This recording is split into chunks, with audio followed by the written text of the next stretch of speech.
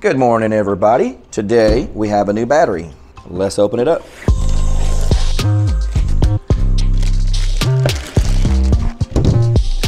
Okay, this is the RELiBATT lithium iron phosphate, uh, 100 amp hour, 12.8 volt. Oh, look, it's a smart Bluetooth battery. I wasn't expecting that. Nice.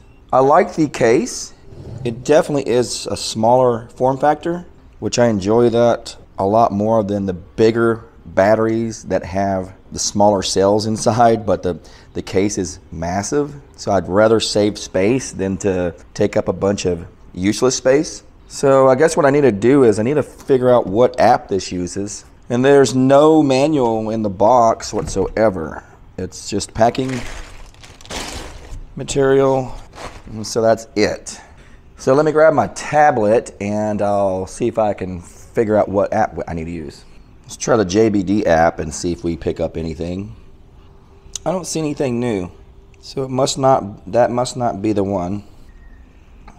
Okay, so let's try their website here. Let's see what we got. All right, well, there's the battery right there, the RE12-100BL. Oh, it says it has Bluetooth and heating. Wow, what a nice battery. Oh, and there's kind of a teardown view. And uh, looks like their price on their website is $4.99. But where do we get the app? We need the app. Do they have a download section. I don't think I see it in the App Store. So, okay. Okay, well, I, I had to do a Google search and I ended up at some Black Friday page. And uh, now I've got a download button here. Okay, so there's an app now. And I see this Z121002677 which is the same thing it says here on the side. So I'm assuming that must be it. Okay, now we've connected. We're at 57% state of charge. All right, and there's our individual uh, cell voltages.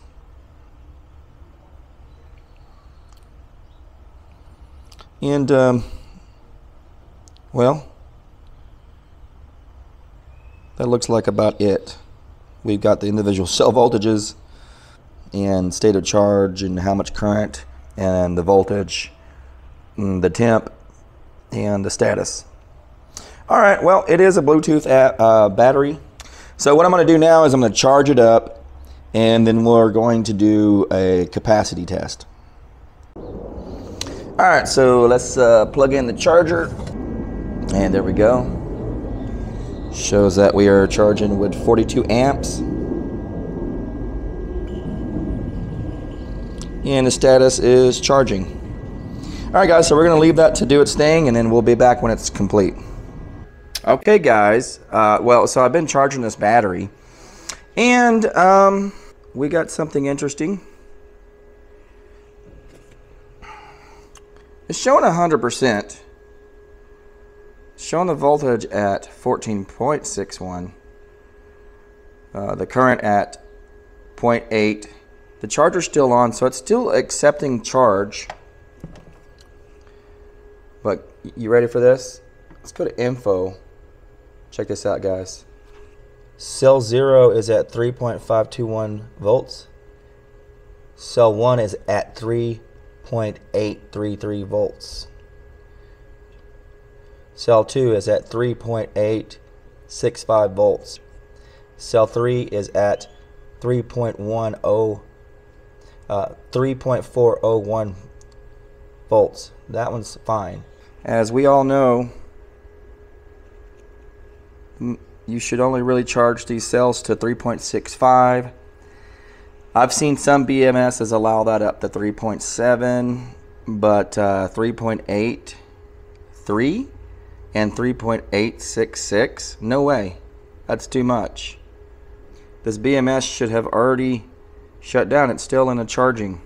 I'm going to go ahead and disconnect the battery uh, so we don't continue to overcharge those cells. As you can see, they're still at the 3.8, 3.84. All right, guys, so I've got this set up to do the discharge test. But first, I'd like to charge it again and see what these cells look like. Right now, they're in the safe zone. We got 3.37, 3.4, 3.4, 3.34. I want to charge it again and see what happens. I also sent an email to the manufacturer of this battery asking them to please uh, give me some kind of explanation from their their engineers about why these cells or this why does this BMS allow these cells to be charged that high? I'm hoping that they tell me that this is just a malfunctioning battery and that's not truly how they have it set up. All right, so charger connected. We are pushing in 42 amps. Yeah, and already again, we're seeing those two cells. We're almost at 3.8 again. There it is. We're at 3.8 again on cell 1. Cell 2 is about to be 3.8 uh, once again. So I'm going to go ahead and stop charging and we're just going to go ahead and move forward with the discharge capacity test. Alright, so I've got the shunt recording over here and we're going to turn on the inverter.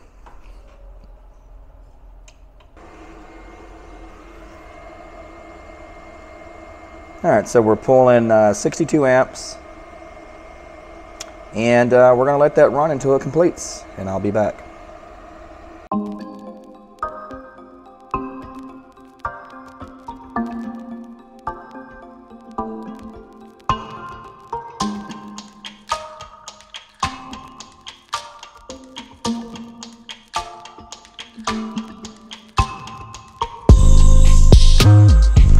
Right, guys, we're getting close to completion. We're down to 3% and we've discharged 97.8 amp hours so far, 1,240 watt hours.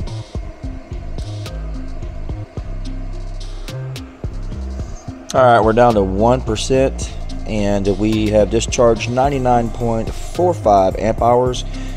Coming up here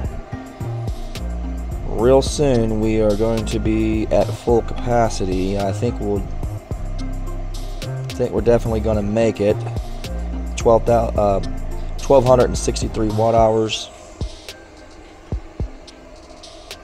11.7 volts. Here we are we're about to hit it. There it is. 100 amp hours. So we have pulled full capacity Let's see if we hit 1280 watt hours here. I think we will. It is, 1280. 101.3 amp hours so far. And still going. So that's uh, that's good. That uh, that test has passed. Now we're still up in the air as to why this BMS allowed the cells to charge so high. Hopefully I get a reply back soon. Um, typically I get a reply back overnight because it's China and you know they're up when we're asleep so I hear the fan starting to slow a little bit on the inverter that means we're I'm getting real low there. We got 103 amp hours, 1300 watt hours. I think I'm going to go ahead and shut it out. There we go. All right. All right, so we stopped at 103.61 amp hours, 1,306 watt hours. That's a good test result on the discharge test. Now I'm curious if we look at the BMS app, what do the cells look like? Um, there it is. All right, we got 2.875, 2.831, 2.753, 2.871. So nothing has gone below 2.5. Let me turn the inverter back on and see.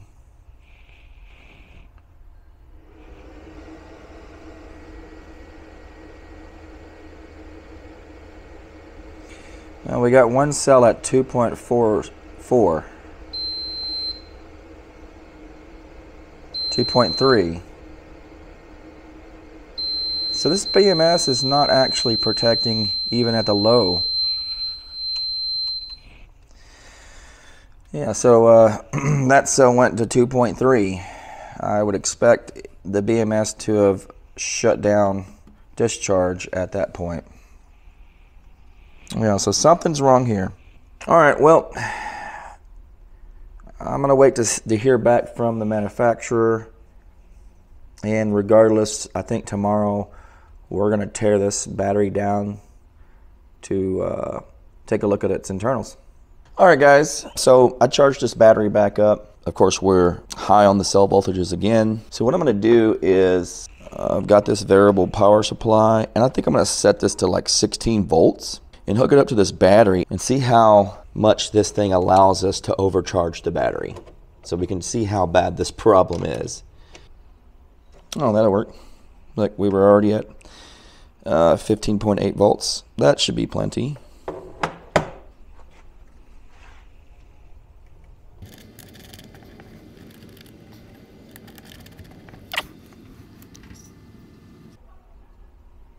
All right, so uh, we've we're at 14.78 volts. Okay, it looks like 14.74 and these cells are 3.87, 3.856. And it appears like maybe, okay, we're finally in the protect status. So it did protect the battery. But again, these cells are, are, are higher than, than what we're used to. All right, well, let's tear this thing down.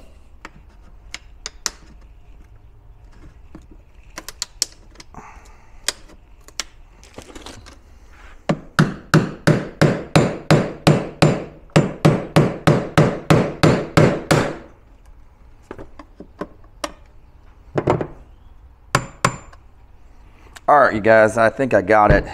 Now this one was a little easier than some of the ones I've gotten recently. And let's open her up.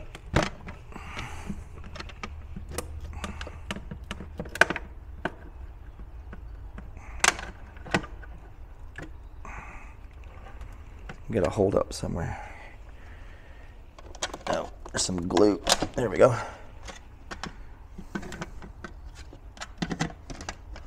All right. There we go. We can see the heating pad. Nice thick six gauge uh, silicone positive lead. We've got a nice double eight gauge for the negative. Uh, the construction so far looks really, really good. BMS here on the side.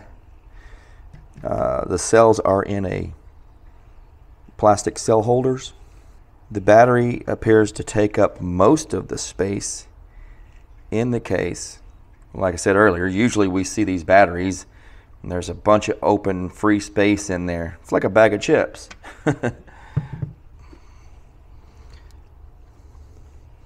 Well, there's the temperature probe, so at least we can test the uh, low temperature cutoff. Okay, we're in charging status.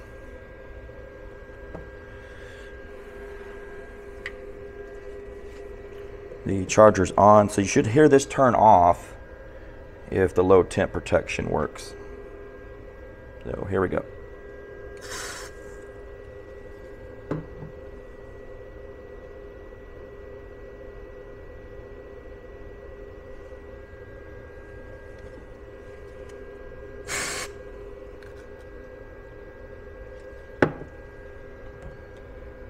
We're at 19, uh, Okay, we're at negative 13C.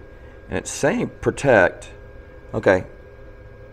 We're, we are in zero current. So it did work.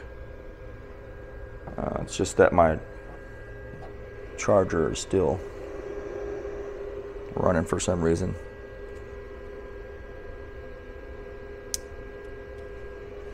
But uh, we'll check it with the meter here to make for certain that we're not pulling anything. Okay, we went back into charging mode, so let's uh, freeze this thing again. There it is. Okay, now it went off, and uh, we're pulling pulling no current according to the meter. All right, well, so the low temperature protection does work. I'm not going to rip these cells out. There's a lot of glue into the corners and whatnot. It's going to be a lot of effort, and I don't want to cut my hands up anymore. uh, so, but what I am going to do is the BMS uh, leads are right here, the uh, sense wires.